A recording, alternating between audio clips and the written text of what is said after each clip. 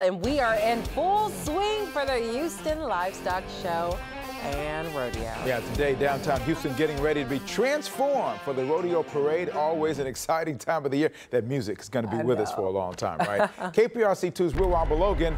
Now, of course, last week he was oh. the Mardi Gras King. Now he's the parade champion. Go ahead on, boy. Look at you, Rilwan. Look at you styling. All right now. Hey, good morning, Severa Canberra. I like it. I am the parade king. That's a beautiful ring to my ears. Hey, we are McKinney, where some of the parade floats are being stored. I want to give a quick shout out to the University of Houston's Alumni Association for this nice, impressive one. So this is a quick sneak peek of, of the float before it rolls later this morning at 10 o'clock. Now, if you're planning on coming down, we want to show you how and what to be prepare for for the parade itself. Here's a taking a look at the map of the route itself.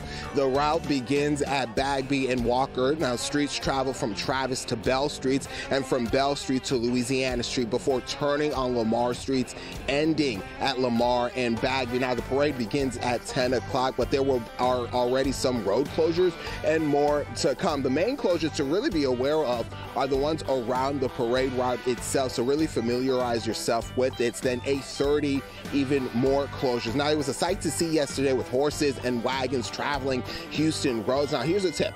The best place to view today's parade are on Louisiana from Bell to Lamar and Lamar and Louisiana to Smith. Now, there are several downtown uh, parking garages, and those are the best spots according to uh, livestock show and rodeo folks. That's the best spots to park. Now, we are back live. I want to give you another preview of another float. This is the Fiesta float here. Take a look at this with the Texas flag at the back in the shape of the great state of Texas itself. And they have, look at that guitar. Maybe maybe if they let me later, I can hop on and act like I'm playing. But this is just a preview of what you can expect when the parade begins at 10 o'clock. Reporting live downtown, Rilwan Balogun, KPRC 2 News. Hey now, thank you, Rilwan.